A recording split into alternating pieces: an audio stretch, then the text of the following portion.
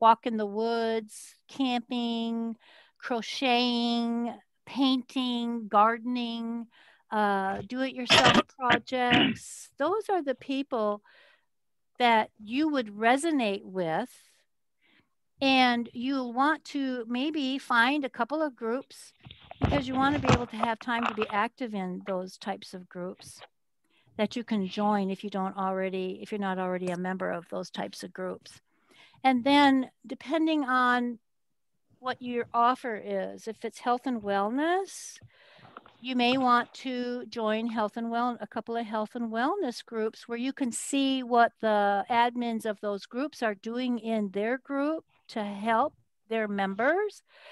Um, for example i've been in essential oils and so i had joined a couple of essential oil groups but you got to be really really careful because you want to make sure you understand the rules before you join the group and make sure that you don't violate the rules one of the groups that I was in, they talk about essential oils, but they don't they don't allow you to talk about your company if you happen to sell the product.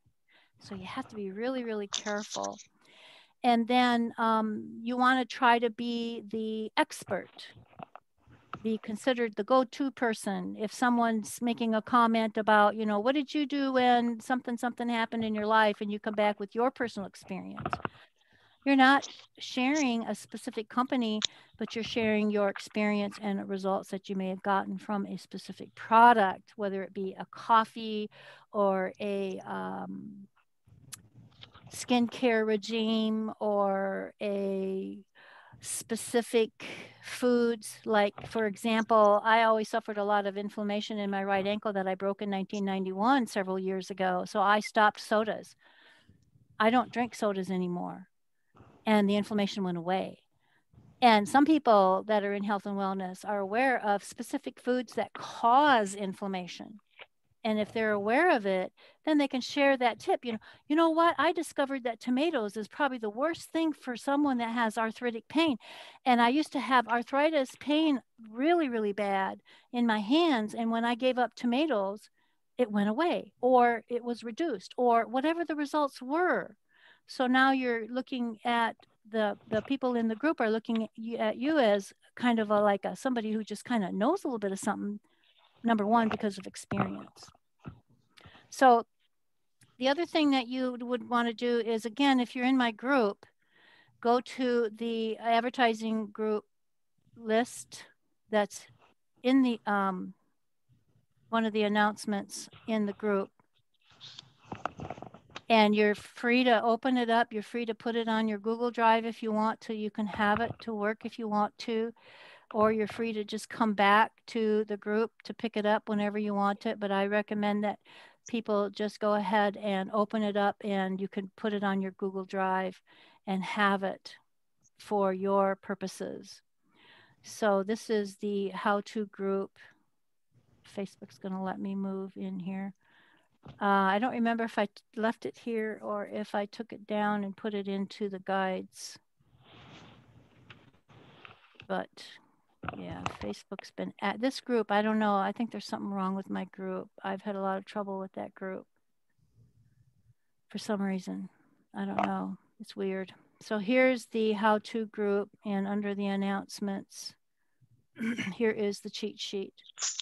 So you would just click on it and you can open it in Google Drive and save it in your Google Drive so you always have access to it so that you can go and pick a and what I highly recommend is pick a group that has a lot of members one 2000 and above but try if you can go to the ones that have 35 40,000 50,000 20,000 10,000 if you can because those are tend to be the more active groups. Now, one of our members said that he was going to download this and he was going to go through it and check to see which groups are no longer active, which groups have changed in their counts, and which groups are still open. And I'm I don't know if he's going to fix it and send it back to us or not. But you know, I said thank you so much. I really appreciate that. So I don't know. I'm just waiting to see.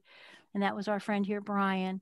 So he said that he was going to do that. So we'll see. But that would be very helpful. So that that would be right now I know there's a lot of groups that, um, yeah, you, and, and you'll want to make sure that you record which ones. Like you could take that uh, that file and actually use it as a template to mark off the groups that you know are no longer active and mark them down, you know, so you don't go back to them again.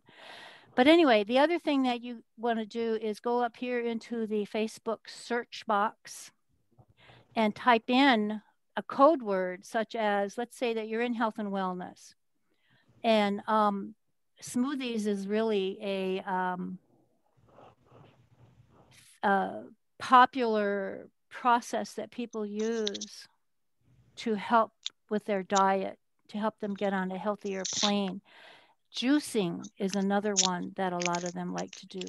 So you could just go in and use some of those words and search like juicing. There's juicing groups, juicing recipes, juicing for health, juicing vegetables, juicing for weight loss and you're gonna it's gonna take time for you to build up a base of groups that you would want to put in your portfolio for you to be working so here's juicing groups because you can also do this on business pages and as you can see there's um, a lot of groups Facebook's changing this all the time as to what you can and can't see when you're searching for items. We've got Reboot with Joe Cross, Juicing and Changing Your Life. He's got 45,000 members. This is a private group. You'd have to join it, and it may be a group that actually uses his product, so you might have a hard time getting in. Here's another one that's a private group. Then you've got this one, Juicing Recipes Raw Organic. That is a public group you could go ahead and go to that one and see if it's something that you'd be interested in being connected to. But because it's a public group, you can actually go there. And the thing with public groups is you can see content and you can see the members. You just can't like and you can't comment. So you don't actually have to join some of these groups if you wanted to get some practice on prospecting in these groups and then decide if it's something that you could maybe provide great value with whatever it is that you're doing. Now, this is 2020 posts, so it doesn't look like there's a lot of activity, recent activity. It looks like it's almost been a year since people have actually been doing anything in here which seems quite interesting to me. So that would be one that we'd probably put on our list. Now, April 28th, uh, let's see, that's 20. Okay, here's a here's a more okay. So here's April 28, 2021. So if you look at this group, you guys see what I'm seeing? Here's an announcement, Stephanie Day. So she's talking about don't spam, here, you know, advertising and spam. So you got to read the rules, so on. So, but you're you don't even not even a member. And then you got new activity. New activity. This is from September 2020, which tells me somebody has posted something under that 2020 post recently. So if you go down here, you see Lorena Kelly. She posted a link four days ago. You see that? So by going to a group and checking the first couple of posts and looking at the dates does not necessarily mean this is a no active group. Because as you all know, people will like a post and comment, even if it's a year old, it pushes it back up to the top. Okay. Now this one here, this is from October 2020 she's asking, where's everybody from? There's 177 comments. So that means new people are coming into this group and they're answering that question. Here's one 14 hours ago. Here's one five hours ago. And again, here, another one, the best juicer machines and why. So somebody has commented recently, which pushes that old post up. But I would go to a more recent post, like this is from April of this year. And this is Nicholas Davino studied at Pace University. you can go down here and you can see this person's main profile. And what you want to do is right click with your mouse and open her profile in a separate window so you're not leaving the group. And then go over to her profile. And what you're going to see is sometimes you will see content that she had posted from that group. So you got to be real careful to make sure that you're actually on her personal profile. So I'm going to hit the three little dots and it looks like I am on her personal profile. She says Pace University, Cliffside Park High School. That doesn't tell me what state, what country she's in. And the last post on her page is October of last year. So she, you know, she's locked down. You can't like, you can't comment, which is okay. But you put her on your list. Okay. Then you can go back to that group and go to the next one. Now, look at this. Even though you're not a member of this group, you can still like the post, which is incredible. So we're going to go down here and see who what the comments are. Wendy Pearson, where do you get these bottles? She said Amazon. Looks delicious. Thank you. And here's a portable blender that mm-hmm. Amazon has that mm-hmm. you can use to make your smoothies on the run. So what you can do is Nicholas is the creator. Wendy has asked a question. So let's go look at her personal profile. Now, when we, before we go there, that's not what I wanted to do. I want to stay on that page. Before we go there, because you can actually kind of get a bird's eye view if you're using a computer. Now, I'm not sure you can go a little bit faster if you're on a phone when you're doing this because it'll take you over to their profile and then it'll come right back to the group when you're done. But that's not the case with the computer. So we can go down here to her um, comment. I want that April comment. Whoa, that thing's crazy. That opened way up. All right. So let's just say Cynthia Anderson. She loves it. So we put your, your mouse over her picture and it should pop up with you giving you kind of a bird's eye view. She lives in Vancouver, British Columbia. If you're able to sell in Canada, it might be a viable prospect. That's about all that that tells us. So we can right click, open the link and go over to her uh, personal profile, see if she's locked down.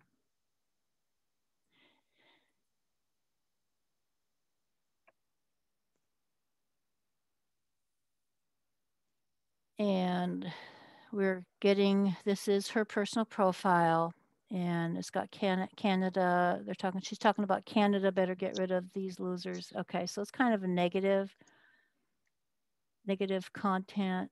Uh, she was evidently in Paris. That's incredible. So you could, you could like and you could comment on her um, Paris trip and just you know oh wow you're so blessed you know i've i've always wanted to go to paris. I've never been able to live that dream. And this is uh, something she's trying to sell and this is a decorative mirror. She's trying to sell that it looks like. So um, there's not a whole lot of content here but you get the idea. You just take time go through find three things you can like and comment on one of the three things if you can and again, you want to be careful because if the people's posts contain a lot of negativity, you don't want to attract negative people to you. So I would very, I would recommend staying away from that type of a person's content. And then down here, we've got recipes. That's a public group. Private, private, private. Here's a juice fasting, healthy living. That's a public group, 3,400 members. And again, you can um, go through the posts, see if they're, if you're in the health and wellness industry, see if there's anything that do you resonate with. And then um, the other thing that you can do is actually just click on the members tab.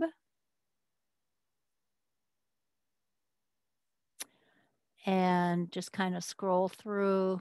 And again, just put your cursor near their name. And as you see, there's no profile photo. This person's in the Philippines, but their friend button is available. So they do accept friends. This person does not.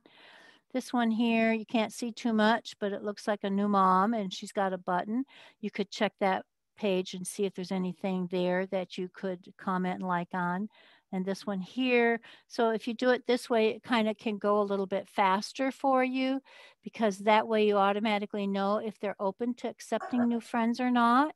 Because if you're trying to connect with someone who won't even accept a new friend, you're kind of stuck.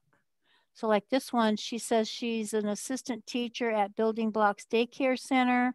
She lives in Wisconsin she's on a health and wellness group so she's probably interested in health and wellness and if that's your industry it may be a viable prospect for you to desire to connect with.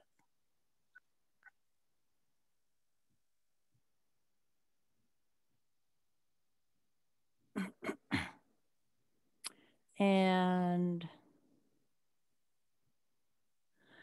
let's see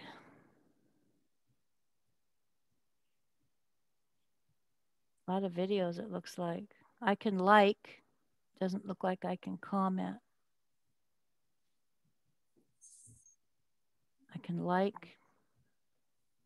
So if there's something here, you know, that I resonate with, this one here, you know, I can just, you know, do a wow or something. I love this this scenery. This is beautiful and so on and so forth. So that's some of the ways that you can prospect using groups. Now, if you wanted to go to, uh, let's say, um, juicing pages,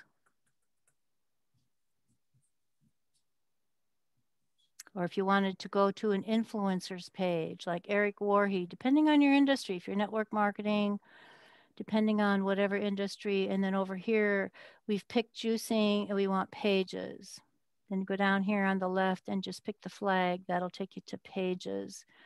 And you can go and look at the uh, posts. And here there's a thousand 500 people that have liked and reacted to this post.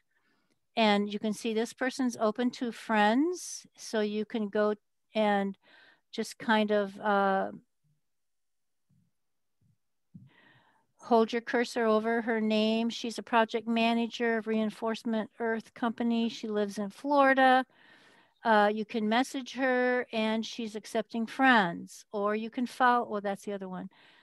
So we could right click, open her up into a new page, go over to her personal profile, and engage with that person.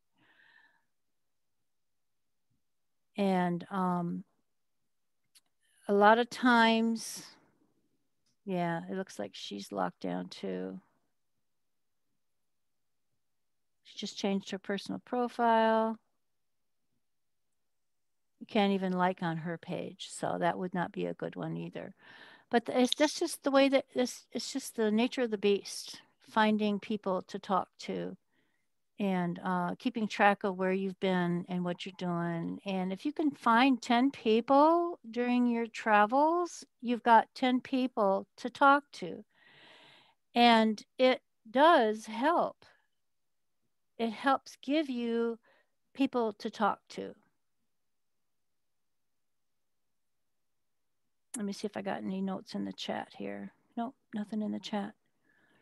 Okay, so has that been beneficial or is there anything specific that you'd like a little bit more on um, or problems that you have run into when you've tried prospecting this way? I haven't tried it, but that sounds interesting. I made posts on the various groups, but I've never actually contacted any of the people that. Yeah, you're. Uh, yeah, but when you say contact Mary, Marianne, what I'm saying is you go to their profile if they're not locked down you like their posts. You don't really contact them. You're just on their profile engaging with content. Okay. And then what they'll do is they'll see you were there and that they liked you know that you commented. If you can comment on their content they'll respond thank you so much and they're going to check out your profile. Okay and they're going to come over to your page and they're going to send you a friend request. So you don't ask them for a friend? No, you, you do comment. not do that. You do not know. Okay. You do not add them as a friend. You don't message them during this process. No, you're just showing up as somebody new. They're going to recognize that. So they're taking action.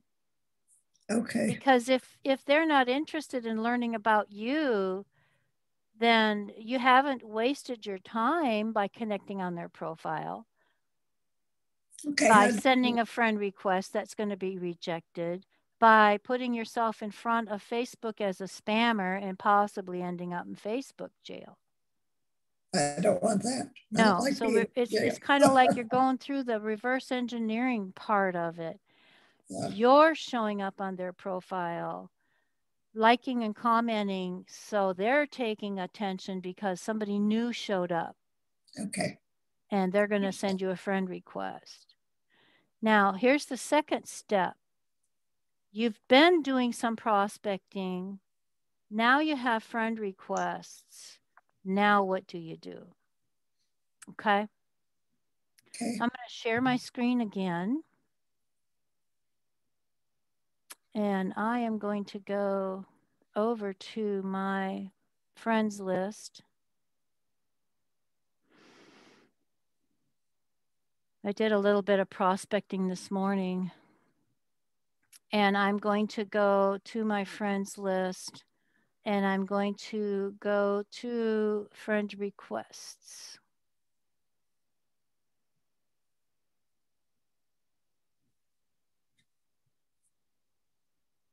Friend requests. And if you have your bell turned on, your notifications, when people send you a friend request, you may see that in your notifications. Uh, close some of these windows so Facebook doesn't take up all my bandwidth. So if you see over here, I've got 58 friend requests. Okay. Now, this is, uh, I don't just go through here and confirm. I actually go to their profile. So I'm going to click on her profile because I'm going to check to see if I had responded previously. So I'm going to check Messenger. And I don't know who she is. Um, I don't know that I connected with her. I'm going to just kind of scroll through here since this is a recent request to see if I liked and commented on anything. And I don't see anything. And I'm going to also check to see what does she do. So she is a CEO of the 2.0 Master Class, which is being held June 1st through the 4th and I might have registered for this. I don't remember. So, what I would do is I would send her a private message and say, Thank you so much for the friend request.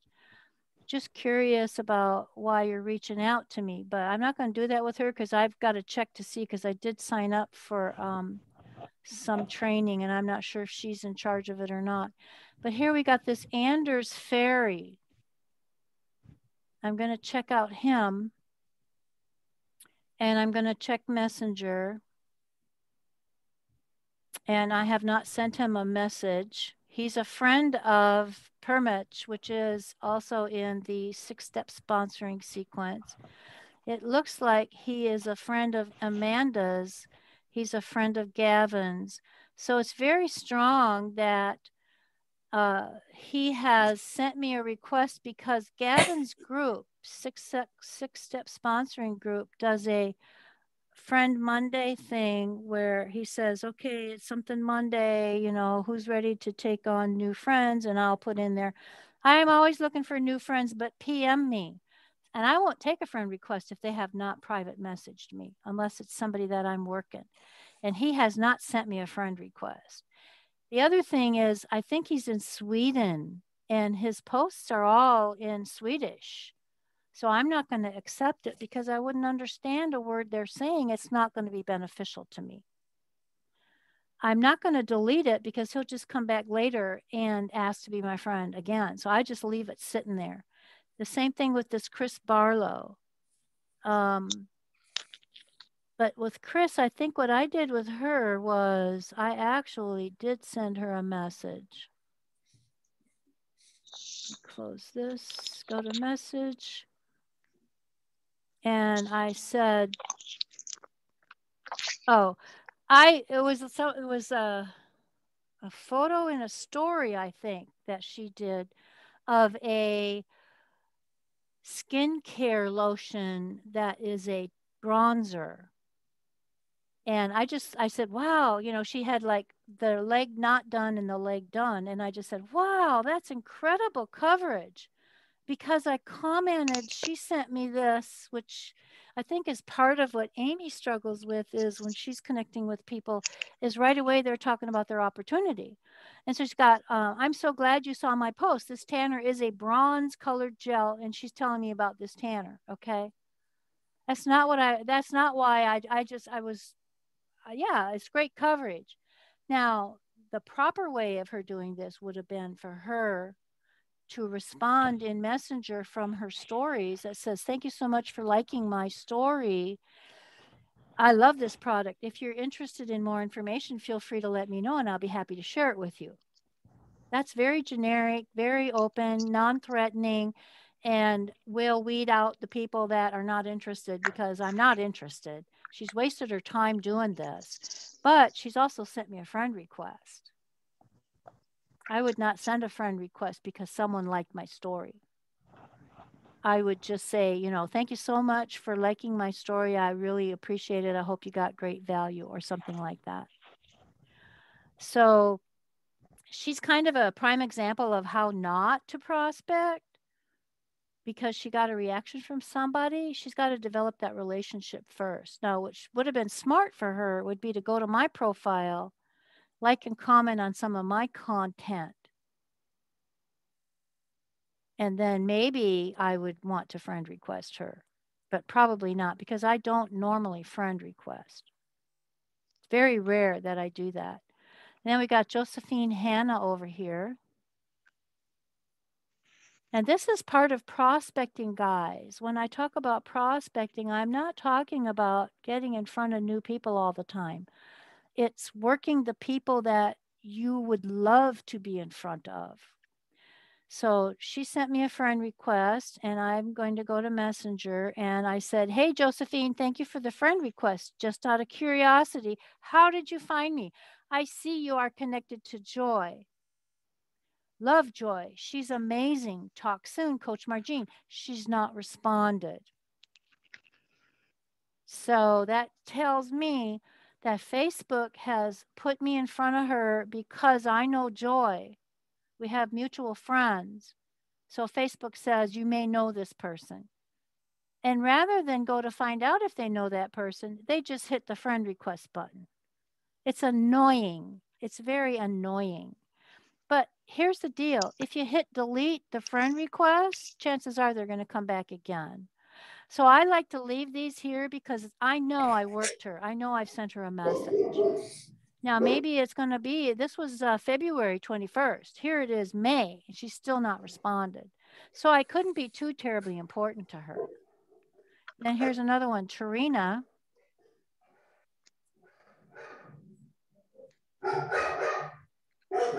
And I'm going to check messages.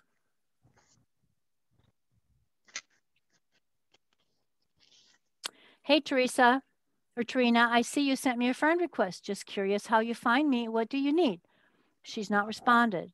And that was in January. So that kind of kind of helps. I hope it helps you guys to figure out. Sorry, I'm just trying to move this thing out of my way. Um, how to work your friends list when you do have people over here in your friends request section and uh, why I have a lot of people sitting here that are still sitting here. Now, if I find one like this one, Nat Mackey or Nate Ma- Mackey, um, he's uh, self-employed. He's in Alberta, Canada, or maybe even Austria. That's that's hard to say. Australia. He's from Australia. Uh, he's got just photos here of him. He's got two mutual friends. I, I don't know for sure. Oh, I know Eamon. I know Eamon's 4%, I think. And um, I see if I send him a, friend, a message. Probably not, because I don't feel good about this one. I don't see any reason why I want to be his friend, why he'd want to be my friend, except possibly one of those, you know, spammer guys. So I'll hit the three little dots and I'll block him. I don't see of any interest whatsoever. And that way he can't send me a friend request ever again. Okay? So that's what you want to do. If you know for a fact that you don't want to be this person's friend, there's nothing about this person that interests you, but you don't want them to continually come back asking to be your friend.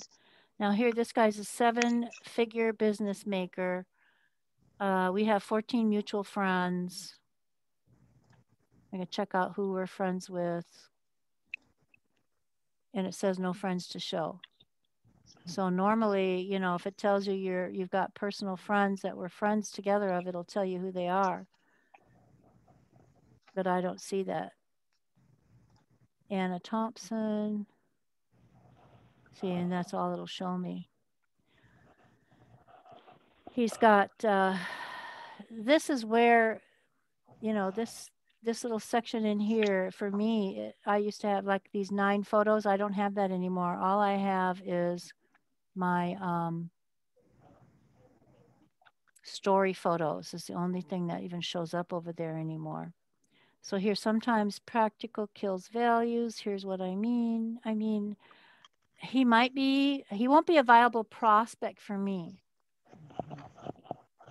So I would just as soon not connect with him. Now, if he's got his follow button on, I can follow him and then I'll delete the friend request.